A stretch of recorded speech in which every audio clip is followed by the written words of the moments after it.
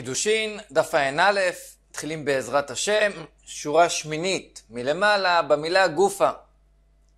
יושבים אליהו הנביא ואחאב מלך ישראל בניחום אבלים בביתו של חיאל בית האלי, שהיה גר בבית אל.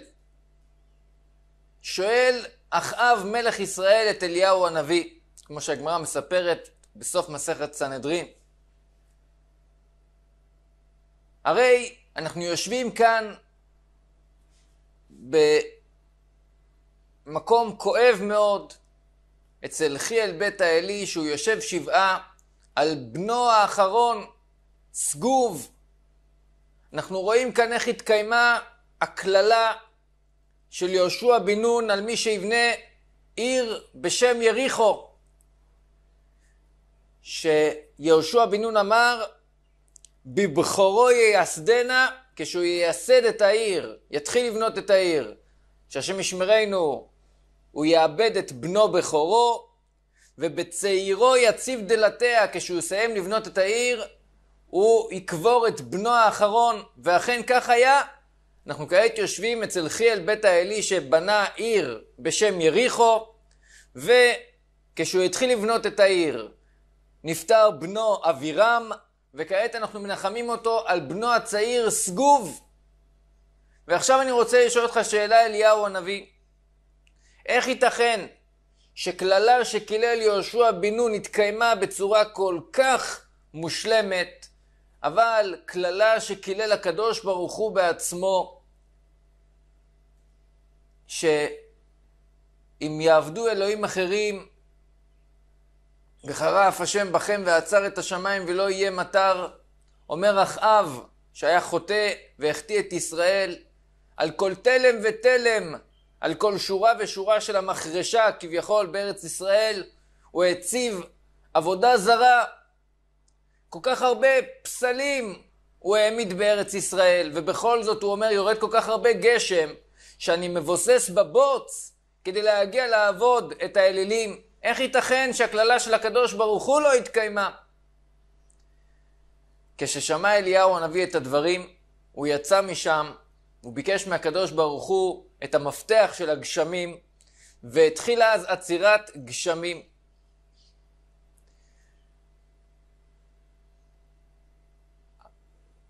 בבית מדרשו של רבי יוסי בר חלפתא, כשהוא סיפר את הסיפור הזה, הוא אמר, שאליהו היה קפדן, אליהו הנביא קפדן האווה. אומרת שם הגמרא, דבר נורא. רבי יוסי בר חלפתא היה גדול במעלתו כל כך, שבכל יום אליהו הנביא היה מצוי בבית מדרשו. אליהו הנביא מצוי בכל יום בבית מדרשו. אחרי שהוא אמר את המילים האלה, שאליהו הנביא היה קפדן, שלושה ימים לא הופיע אליהו הנביא בבית מדרשו. אחרי שלושה ימים כשהוא הופיע, שאל אותו רבי יוסי בר חלפתא, למה, למה לא הגעתם כאן כמה ימים? אז הוא השיב, קראתם לי קפדן? אמר לו רבי יוסי בר חלפתא, הנה הרב רואה. איך הרב מקפיד עלינו על מה שקראנו לו קפדן, וכי אליהו הנביא הוא לא קפדן? רבי יוסי בר חלפתא, מעלתו כל כך גדולה, הוא זכה שאליהו הנביא היה מצוי בבית מדרשו בכל יום. ואם כן, דברים שהוא אומר הם דברים מוסמכים מאוד. והוא אומר את דבריו על הנושא שאמר רב יהודה, שאמר את הדברים בשם רבו שמואל, לגבי הייחוס של האנשים שהיו גרים בבבל אחרי שעלה עזרא הסופר לבנות את בית שני בארץ ישראל, שאלה שנשארו בבבל היו מאוד מאוד מיוחסים. מה זאת אומרת מיוחסים? שלא היה להם פסול ייחוס. לא היו ביניהם ממזרים וכדומה. שממזרים הם כאלה שהאבא התחתן עם אישה שלא תופסים הקידושין באישה הזאת, כי היא קרובה שלו, בקרבה כזאת שלא תופסים בה הקידושין, אז אם הוא התחתן באיסור, הבן הוא ממזר. אז כזה פסול ייחוס למשל, או שאר פסולי יוחסין, לא היו בבבל. כי כל אלה שהיו עם ייחוס פסול, עזרא הסופר כשהוא עלה לבנות את בית שני בארץ ישראל, הוא לקח אותם עמו. כי בבבל לא נשארו כל כך חכמי ישראל באותה תקופה, שיוכלו לשמור שאנשים לא יתחתנו עם כאלה שאסור להם להתחתן.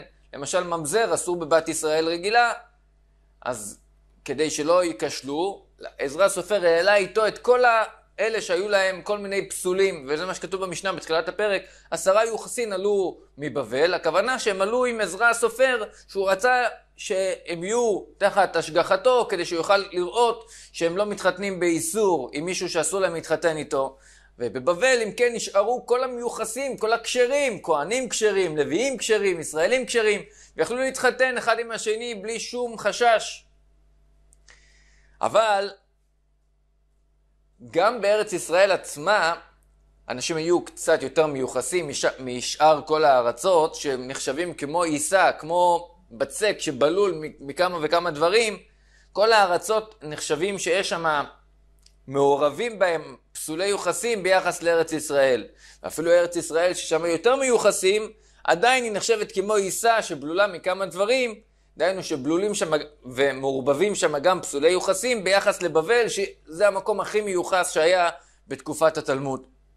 מספרת הגמרא בימי רבי הקדוש, מחבר המשניות, ביקשו להחזיק את המשפחות שבארץ ישראל מיוחסות יותר מהמשפחות שבבבל. ביקשו לעשות בבל עיסה לארץ ישראל. דהיינו, שארץ ישראל הייחוס הוא הכי הכי נקי, ובבל נחשב ייחוסים מעורבבים יותר, בלולים יותר, מאשר אלה מארץ ישראל. רבי הקדוש היה בן החרבן של הלל הבבלי, הלל הזקן, כמו, וכמו שמסופר על הלל הזקן, שהוא היה מבבל, הגמרא מספרת במסכת פסחים, דף ס"ו, סיפור מאוד מעניין, איך שכשהוא הגיע מבבל, הוא זכר הלכה מסוימת שהמנהיגים כאן, שהיו מבני בית ערה, לא זכרו, ולכן מינו אותו להיות הנשיא בארץ ישראל. ורבי הקדוש היה ממשיך הנשיאות. אז הוא אמר להם, אתם רוצים לומר שאלה שבאים מבבל הם פחות מיוחסים, אז זה כביכול כמו שקוצים אתם משימים לי בין עיניי. כי לפי דעתכם אתם רוצים לומר שמשפחתו של רבי הקדוש הייתה פחות מיוחסת, כי היא מגיעה מבבל, ואתם רוצים לומר שאלה מארץ ישראל יותר מיוחסים. אם רצונכם, יטפל עמכם רבי חנינא בר חמא, הוא ישיב לכם למה זה לא נכון. ואז כשנטפל עמהם רבי חנינא בר חמא, הוא אמר להם, כך מקובל אני מרבי ישמעאל, בנו של רבי יוסי, שאמר את הדברים משום מי? משום אביו רבי יוסי, רבי יוסי בר חלפתא, שעליו סיפרנו את המעשה הנורא, והכל כך מדהים שהוא זכה שהיה מצוי בבית מדרשו, אליהו הנביא בכל יום היה מגיע לבית מדרשו, והוא בעצמו העיד את העדות הזאת, שכל הארצות נחשבות מעורבות בכל מיני פסולי יוחסים כמו עיסה ביחס לארץ ישראל, ואפילו ארץ ישראל ששם יותר מיוחסים, נחשבת עיסה ביחס לבבל, ששם המיוחסים ביותר. גם בימי רבי פנחס ביקשו לעשות בבל שתהיה פחות מקום של מיוחסים ביחס לארץ ישראל. יישא ביחס לארץ ישראל.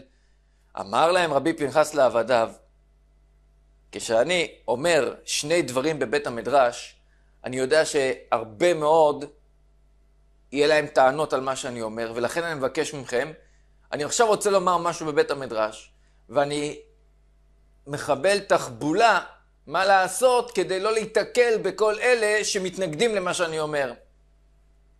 אז מה נעשה? אני הולך להגיד שני דברים בבית המדרש, אבל אני כבר מבוגר, אני לא יכול לברוח מיד אחרי שאני אומר את הדברים מבית המדרש. לכן אני מבקש מכם, אתם תלוני בעריסה, קחו אותי עם המיטה, עם הכיסא, ורוצו מהר מבית המדרש. אני רוצה לומר שארץ ישראל לא כל כך מיוחסים שם כמו בבבל. אני לא רוצה לגלות מי המשפחות הפסולות. וכך עשו. הוא נכנס לבית המדרש, כי איל, כשהוא נכנס, אמר להם לבני בית המדרש קודם כל הלכה אחת, שתהיה תמוהה בעיניהם ויהיו עסוקים בה. ואומר להם את ההלכה הזאת. מן התורה לא צריך לשחוט עוף כדי שיהיה מותר לאכול אותו. כי השחיטה נאמרה דווקא על בהמה, על חיה, לא על עוף. ככה הוא אמר להם. והוא כשר בלי שחיטה. רש"י מביא את מה שנאמר במסכת חולין דף כ"ז, שלומדים את זה לגבי מה שנאמר על עוף ושפך את דמו בשפיכה בעלמא. אמנם אנחנו היום פוסקים שכן צריך שחיטה, אבל הוא אומר שמן התורה לא צריך שחיטה, זה לא נאמר מהתורה. והוא חיפש דווקא לומר להם הלכה שהיא קצת תמוהה, והוא לא גילה להם את הטעם, כדי שיהיו טרודים לעיין בהלכה הזאת, ואז כשהוא יאמר את ההלכה השנייה ייקח להם זמן עד שהם יתפסו את הדבר השני שהוא אמר, כי הם כל כך היו עסוקים בדבר הראשון. הדעת שבי וקיימה הנה בא, עד שהם ישבו ועיינו בדין הראשון אמר להם, כל הארצות תיסע לארץ ישראל, זו עובדה, שכל הארצות נחשבים מעורב הייחוס שלהם, ויש שם ייחוסים פסולים ביחס לארץ ישראל, ואפילו ארץ ישראל שהם יותר מיוחסים, נחשבת מעורבת ביוחסים פסולים, כמו עיסה, ביחס לבבל, ומיד נטלו עבדיו בהריסה ורצו איתו מבית המדרש, וכשרצו אחריו בני בית המדרש, ולא הצליחו להגיע אליו, ולאחר מכן השומעים ישבו ובדקו בעצמם במשפחות של ארץ ישראל מי מביניהם המשפחה הפסולה עד שהם הבינו למה הוא היה חייב לברוח החוצה כשהם גילו משפחות אנשי זרוע, אנשים אלימים ומסוכנים שהם עצמם היו עם ייחוסים פסולים שהיה מסוכן לגלות את הייחוס שלהם והגיעו לסכנה ופרשו הם בעצמם גם כן הפסיקו לחקור את הנושא הזה מחמת סכנה שלא יהרגו אותם. אמר רבי יוחנן הוא נשבע בהיכל של בית המקדש, בידינו היא. אנחנו יכולים לברר ולמצוא מי המשפחות הפסולות כאן בארץ ישראל. אבל מה אעשה שהרי המשפחות האלה כבר נטמעו, התערבבו במשפחות מיוחסות, ואפילו גדולי הדור כבר נטמעו בה. רבי יוחנן סבר לה כמו רבי יצחק, דאמר רבי יצחק, משפחה שנטמעה, נטמעה. ברגע שמשפחה כבר התערבה במשפחות מיוחסות, אז כבר לא צריך לברר מי המשפחות הפסולות. ואמר אביי, אף עננה מתענינה, גם למדנו במשנה על משפחת בית הצריפה, שהייתה, ככה היה שמה, שהייתה משפחה מיוחסת, והיא הייתה בעבר הירדן, ואיזה אדם בן ציון, ככה היה שמו, היה אדם אלים, והוא ריחק את המשפחה הזאת, אותו בן ציון, בכוח, בזרוע, להכריז עליה שהיא פסולה. עוד משפחה אחרת הייתה, והיא הייתה משפחה פסולה, ולא רצו להזכיר את השם של המשפחה הזאת, וקרבה בן ציון, הוא הכריז עליה שהיא קשרה בזרוע. אבל המשפחה הזאת ידועה כמשפחה פסולה, היא לא נטמעה במשפחות הכשרות. ולכן כגון משפחות האלו, אליהו הנביא בא לעתיד לבוא לטמא ולתאר משפחות בדוגמאות האלה שידועות, הוא עתיד לרחק את המקורבים בזרוע ולקרב את המרוחקים בזרוע. מדייק הבעיה, כגון אלו, דווקא משפחות כמו אלו, דידעין, ידוע שהמשפחה הזאת פסולה, אלה עתידים להכריז עליהם בפסולם. אבל משפחה שכבר נטמעה, משפחה שהתערבבה במשפחות כשרות, נטמעה, כבר מעורבת ולא מגלים את הפסול שלה. טענה, עוד משפחה אחרת פסולה הייתה, חוץ מאותה משפחה שבן ציון קירב אותה בזרוע, והיא הייתה משפחה פסולה, ולא רצו חכמים לגלות את המשפחה הזאת, אבל מה? רצו להיזהר, לא, לא להתחתן איתם כמשפחה פסולה, אז החכמים היו מוסרים את אותו שם של המשפחה לבניהם ולתלמידיהם פעם אחת בשבע שנים, שזה נקרא שבוע. ואמרי לה אומרים כל שלוש וחצי שנים, פעמיים בשבע שנים בשבוע. אמר רב נחמן בר יצחק, מסתבר, מסתבר כמו המאן דאמר שמגלים את שם המשפחה רק פעם בשבע שנים, פעם אחת בשבוע. שהרי מצאנו שממעטים כמה שאפשר מלגלות משפחות פסולות. כדתניא ברייתא, מי שאמר, הריני נזיר אם לא אגלה משפחות. מקבל על עצמו נזירות אם הוא לא יגלה משפחות פסולות. אומרים לו, תהיה נזיר ואל תגלה. יהיה נזיר ולא יגלה משפחות. אף על פי שכתוב, יש דעה שנזיר שהוא מקבל על עצמו נזירות והוא נוהג נזירות. שזה אומר שהוא לא אוכל ענבים, לא שותה יין, לא מסתפר ולא מטמא את עצמו למתים לזמן שהוא קבע לעצמו נזירות. אז יש דעה שסוברת שהוא נחשב חוטא. כמו שאומר הפסוק, וכיפר מאשר חטא על הנפש, שהוא צייר את עצמו על הנפש. בכל אופן, עדיף לו להיות נזיר מאשר לגלות משפחות. אם כן רואים שיש למעט כמה שאפשר לא לגלות משפחות פסולות. מסתבר שחכמים ממסרים כמה שפחות. אם יש לך ספק אם זה פעם בשלוש וחצי שנים או פעם בשבע שנים, מסתבר שזה היה פעם בשבע שנים. אגב, שדיברנו על דברים שחכמים היו מוסרים לתלמידיהם פעם בשבוע בסודי סודות, אז מביאה הגמרא את דבריו שאמר רבא בר, בר חנה, שאמר בשם רבי יוחנן, שם קודש של הקדוש ברוך הוא בין ארבע אותיות שמוויה הקדוש. האות י', אחריה האות ה', אחריה האות ו' ואחריה האות ה'. חכמים מוסרין את פירושו, אותו, לתלמידיהם פעם אחת בשבוע. ואמרי לה יש אומרים פעמיים בשבוע. וגם על זה אמר רב נחמן בר יצחק, שמסתבר, מסתברא כמו המאן דאמר שאומר שמוסרים את הפירוש של שם השם רק פעם אחת בשבוע. תכתיב, אומר הקדוש ברוך הוא, זה שמי לעולם, לתמיד. אבל המילה לעולם כתובה בלי ו', כמו להיעלם, להעלים, כתיב. רבא היה סבור למדרשי לדרוש ברבים, בפירקה, את הפירוש של שם של הקדוש ברוך הוא. אמר ליהוא סבא, אמר לו אותו זקן, להיעלם כתיב, צריך להעלים את הפירוש של שמו של הקדוש ברוך הוא ולא לפרסם אותו ברבים. רבי אבינה הקשה, רמי, כתיב על שמו של הקדוש ברוך הוא, זה שמי וזה זכרי. היה מספיק שיהיה כתוב, זה שמי וזכרי. למה צריך שיהיה כתיב גם זה פעם נוספת במילה זכרי? אלא יש כאן שתי שמות. אמר הקדוש ברוך הוא, לא כמו שאני נכתב, כך אני נקרא. אלא אני נכתב, אני באות י', אחרי זה ה', אחרי זה ו', אחרי זה ה'. ולא אומרים את המילה הזאת. אלא איך אני נקרא? כשהשם הזה כתוב בתורה וכדומה, אז רואים את השם הזה, אבל לא אומרים את זה. אלא בפה אומרים השם הזה נקרא באלף דלת נון יוד. תנו רבנן, בראשונה, השם של הקדוש ברוך הוא, שהוא שם בין 12 אותיות. רש"י אומר שהשם הזה אינו ידוע לנו מהו. היו מוסרים אותו לכל אדם. משרבו הפריצים שהיו משתמשים בשם הזה, היו מגלים ומוסרים את השם הזה, מוסרים אותו רק לצנועים שבין הכהנים, לצנועים שבכהונה, כדי שיברכו בשם הזה את העם בברכת כהנים בבית המקדש.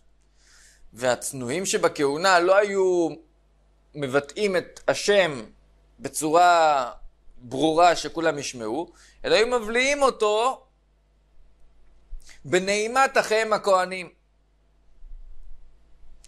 שהכהנים שלא נמסר להם השם בין 12 אותיות, היו אומרים את שם של ארבע אותיות, קצת באריכות. אז באותו זמן הכהנים הצנועים שכן ידעו, היו ממהרים להבליע את השם בין 12 אותיות כדי שלא יישמע לרבים. טניה, אמר רבי טרפון, פעם אחת עליתי אחר אחי אמי לדוכן, שעמדו עליו הכהנים בברכת כהנים בבית המקדש, והטאתי אוזני אצל הכהן גדול, ושמעתי שהבליע השם של 12 אותיות בנעימת אחיו הכהנים. זכה. אמר רב יהודה, אמר בשם רב, יש שם נוסף שרש"י אומר שהיום הוא לא ידוע לנו, בין 42 אותיות. אין מוסרין אותו אלא למי שצנוע וענב ועומד בחצי ימיו אם ימי שנות... שנותינו 70 שנה, אז כבר עברו יותר מ-35 שנה משנותיו, ואינו כועס, ואינו משתכר, ואינו נותר איבה להעמיד על מידותיו. למה? כי אם הוא היה בן אדם ששומר כעס על אנשים, אז חוששים שמא הוא ישתמש בשם הזה, שיש בו כוח לעשות דברים מעל הטבע, לנקום בשונאיו. וכל היודע את סודו, הרשב"א מביא לשון, מסתורית אולי, יודע לכוון את הקודש פנימה שהוא רומז אליו, והזהיר בו, והמשמרו בטהרה, אהוב למעלה ונחמד למטה, ואימתו מוטלת על הבריות, ונוכל שני עולמים, העולם הזה והעולם הבא. חוזרים חזרה לנושא ש... עוסק הפרק שלנו, חזקת יוחסין, אנחנו כרגע מדברים על החזקה של הייחוס של בני בבל, ששם היו מיוחסים ביותר, ואחר כך היו בני ארץ ישראל, ואחר כך שאר הארצות. אמר שמואל משמי דה סבא, בשם אחד מהזקנים, בבל, משפחה בבבל, שאתה לא יודע עליה איזה פסול בייחוס, בחזקת כשרה עומדת. עד שיוודע לך בבירור שאותה משפחה פסולה, במה נפסלה. זה מצד אחד בבל, ששם האחים מיוחסים. מצד שני שאר הארצות, לא בבל ולא ארץ ישראל, המשפחות שם בחזקת פסול הן עומדות, אלא אם כן נודע בבירור שאותה משפחה כשרה, עד שיוודע לך במה נכשרה. המשפחות של ארץ ישראל, ששם זה באמצע, בין בבל המיוחסת מאוד לבין שאר הארצות, ששם יש יותר תערובת של פסולי יוחסין, אז בארץ ישראל המוחזק לפסול, פסול, המוחזק לכשר, כשר. עכשיו, הדברים האלה של החזקה בארץ ישראל סותרים את עצמם, גוף הקשיא. אם אמרת בהתחלה שמי שמוחזק לפסול, רק הוא פסול, אז אה סתם בן אדם שאין עליו חזקה, כשר. ומה שאחר כך אתה אומר, עד ארתני, שרק אם הוא מוחזק לכשר אתה אומר שהוא כשר, מדויק הפוך, שבסתם אדם, בלי חזקה מיוחדת הוא בחזקת פסול. אמר רב הונא בר תחליפא משמו, משמי דרב, לא קשיא, זה לא סותר. מה שמדויק בברייתא, שסתם אחד בארץ ישראל הוא בחזקת פסול, כאן מדובר כשאתה מחפש להשתדך איתו, להשיא לו אישה, אז אתה לא סומך על חזקה, אתה חושש, אולי הוא פסול, אז אתה בודק אחרי הייחוס שלו. ומה שמדויק בברייתא שסתם אדם הוא כשר, מדובר אדם שהוא נשוי. כאן, כדי להוציא אישה מידו, אתה לא אומר, לא, הוא בחזקת פסול, תוציא מידו את האישה המיוחסת. לא, הוא בחזקת שהוא כשר. אמר רב יוסף, אתה לא צריך לבדוק הרבה כדי לדעת אם הבן אדם הוא מבני בבל. תבדוק באיזה שפה הוא מדבר. אם הוא מדבר בבבלית, כל ששיחתו כבבל, מסיעים לו אישה, כי הוא כנראה מבני בבל והוא מיוחס. אבל זה היה בזמנם. אבל האיכא בזמננו, דאיכא רמאי, שיש רמאים שלומדים את השפה הבבלית, זה דבר שאפשר לעשות אותו. חיישינן חוששים, אולי הוא לא מבבל, והוא למד את הלשון של בבל. ולכן אי אפשר לסמוך על זה. מספרת הגמרא, רבי יוחנן רצה לקחת לביתו חתן תלמיד חכם מופלג, את זעירי.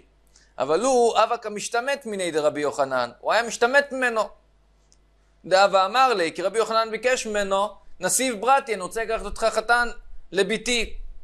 אבל רבי יוחנן היה מבני ארץ ישראל, זעירי היה מבני בבל, והבבלים יותר מיוחסים.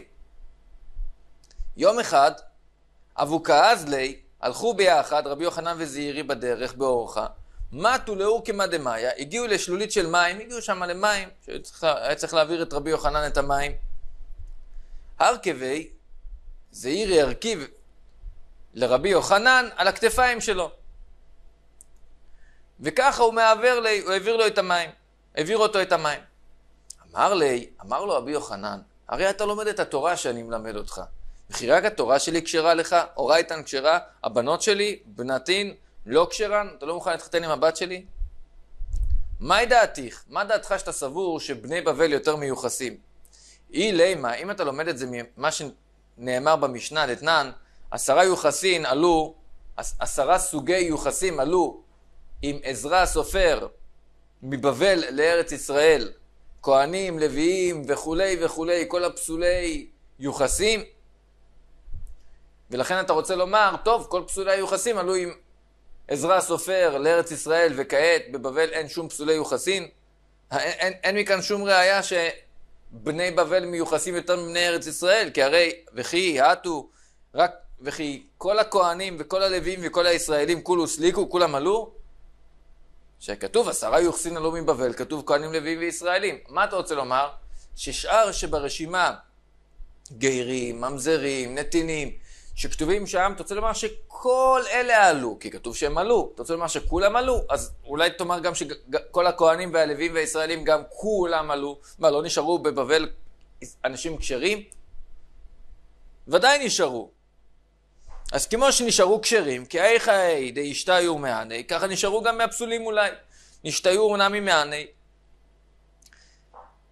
כשרבי יוחנן אמר את זה, נשמט ממנו השתמיתי את דבריו של רבי אלעזר, הדה אמר רבי אלעזר, לא עלה עזרא מבבל, עד שעשה אותה כמו סולת נקייה, קמח סולת בלשון הגמרא, בלשון התלמוד, זה הכוונה קמח נקי.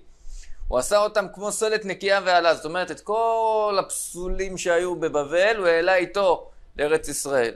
וזה באמת היה הדברים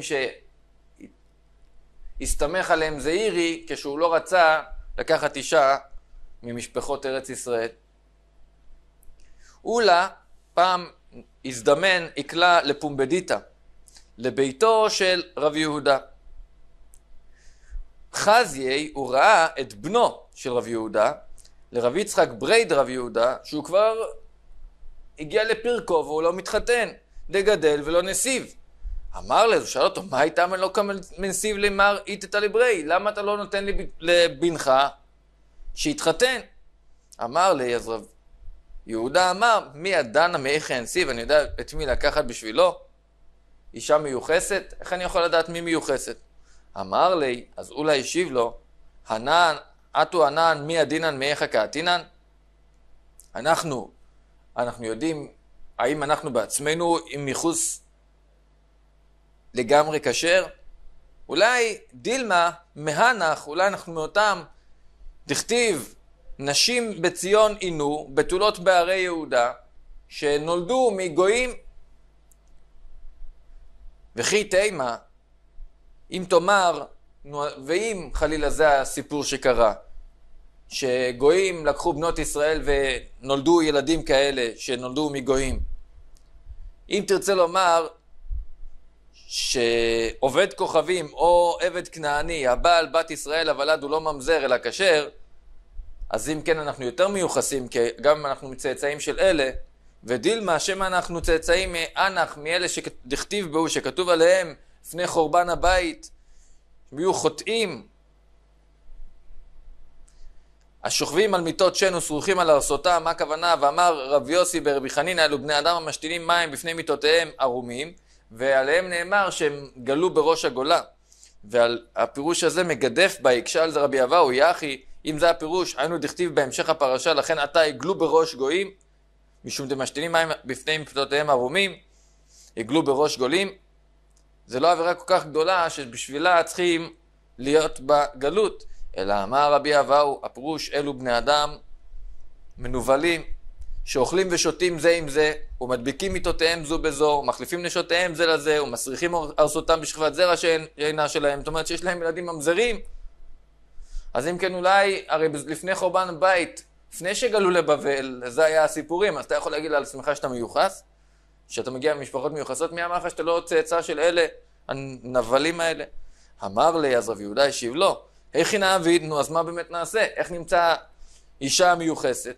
אמר לי, יש לי בשבילך עצה נפלאה מאוד לדעת על בת אם היא מיוחסת. זיל בתר שתיקותא.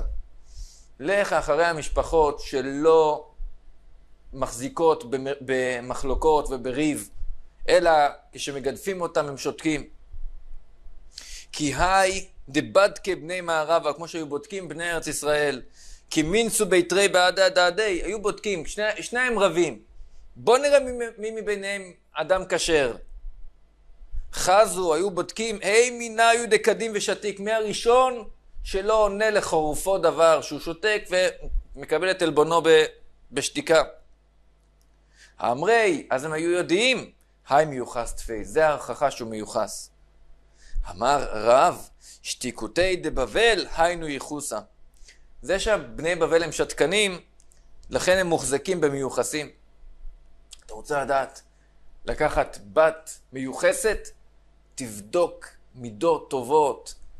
אם מגדפים את המשפחה הזאת, איך הם, האם הם משיבים מלחמה או שהם נוחים ועלובים ושותקים. שואלת הגמרא, הייני, וכי כך הם הדברים, ויקלע רב לוי בר שפי חלה לביתו של אדם ששופך חומץ. הגיע לביתו של איזה אדם ובדק בהו, הוא בדק אם הם כשרים. איך הוא בדק אם הם כשרים? מה אליו? ביחסות ההוא, הרי הוא, הוא בטח לקח את הכתבי ייחוס שלהם לראות אם הם מיוחסים. אומרת הגמרא, לא, זה מה שהוא בדק, בדק בשתיקותא. אחי כאמר להו. ככה הוא אמר לאנשים שהוא מינה אותם לבדוק. בדוקו, תבדקו, היא שתקי, היא לא שתקי. תבדקו כשמגדפים אותם, אם הם שותקים או שהם מחזירים, מחזיקים במחלוקת. אמר רב יהודה, אמר בשם רב, הקדוש ברוך הוא מסובב בהשגחה פרטית שמשפחות מיוחסות ישתדחו עם משפחות מיוחסות ולא עם משפחות עם פסולי יוחסין. ולכן, אם ראית שני בני אדם שמתגרים זה בזה, שהם לא מסתדרים, וכמה, ובוודאי מדובר שרוצים לעשות שלום ולא תמיד מצליחים. שמץ פסול יש באחד מהם, כנראה שאחד מהמשפחות האלה יש לו פסול בייחוס, ומשמיים אין מניחים אותו להידבק אחד בחברו. עשו מריבה ביניהם כדי שלא ישתדחו ביניהם. אמר רבי יהושע בן לוי, אם ראית שתי משפחות המתגרות זו בזו, זה משום ששמץ פסול יש באחת מהם, והם מניחים אותם מן השמיים להידבק בחברתה, כמו שראינו דבריו של רב. אמר רב פאפא, סבא, משמי דרב. רב סבא הזקן אמר בשם רב, בבל, הוא מייחס את הייחוס במקום בצורה של אדם בריא, או אדם שהוא צריך רפואה שלמה. ככל שהוא יותר בריא, זה אומר שהוא יותר מיוחס. אז בבל מיוחסת, נקייה, ולכן היא בריאה. המקום ששמו מישון, מתה. כולם שם ממזרים. מדי, חולה. חלקם כשרים, חלקם לא. אילם, גרועה יותר מחולה, גוססת. מה, ומה בין חולים לגוססים? אני אגיד לך מה ההבדל. רוב חולים לחיים. יהיה להם רפואה שלמה. אז אם כן אותו דבר, מה שנאמר על מדי, רוב שם כשרים. אבל רוב גוססים למיתה. ולכן מה שנאמר על אילם, ששם רק מיעוטם כשרים. אבל לימוד התורה זה ודאי דבר שמביא רפואה גדולה, כמו שמביא רבי יהושע בן לוי במסכת עירובין דף נ"ד, ועד כאן דף ע"א.